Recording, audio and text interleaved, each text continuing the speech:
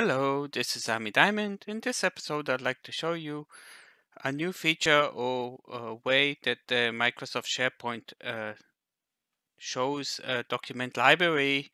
Uh, in the past, each channel had was a folder actually in a shared document library, but uh, it was really hard to understand what is a, a regular folder or or share or or a folder that was a channel. So currently I have a, a team site which is called demo 1960 and I have a general channel, a private channel and a share channel.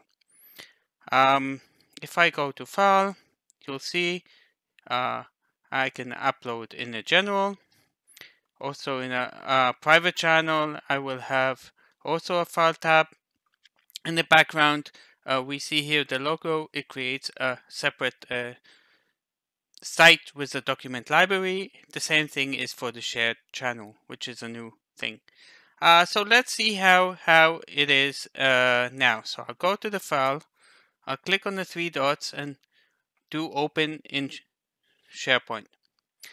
Now uh, it looks the same, but if I go back to see the document library, I have um, how um, actually it separates between folders that are part of the library and folders that are part of the channel.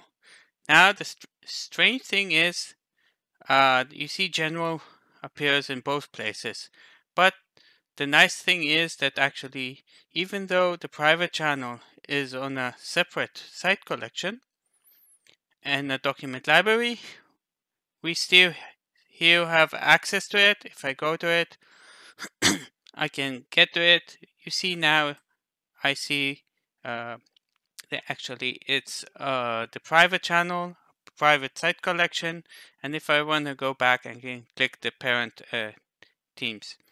Uh, the same thing is for the shared shared channel.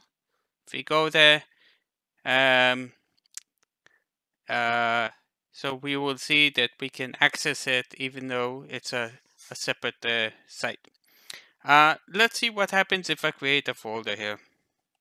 So this is a folder that is is only in the library. It's not a a channel library, and we see it was added here. Still, I I still don't understand why it's adding in the site library uh, this general one. Uh, let me see if I can delete it. No, you see I cannot delete uh, channel uh, folders. Let's see what I can do.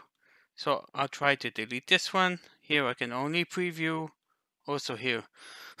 On the other hand, also here, here I cannot delete, but for this folder, which it was created uh, by myself, I can delete it. Here we do. And so let's just uh, do another experiment. Let's create a new channel. And let's call it uh, channel A and let's just make it a standard. So we see it's uh, it's added here. We can go to the file. Let's upload a file. File tab. And uh, let's upload a document.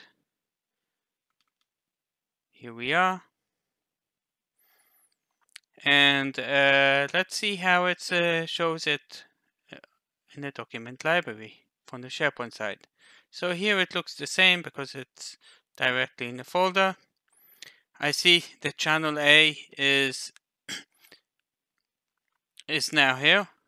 It it adds it also in the site libraries and also in the the areas that are part of the channel. This this looks like a bug.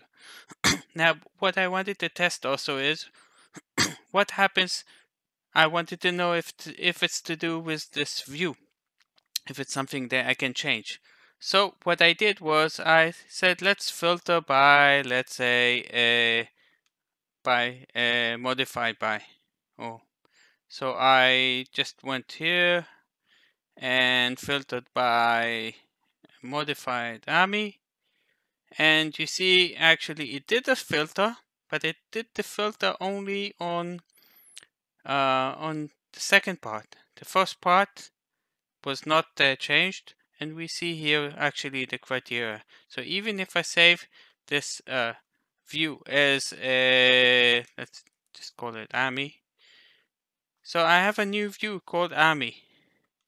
So even if I change the view or do anything, this top part will remain all the time and it has no meta metadata or something like that. So I guess it's something uh, you cannot change.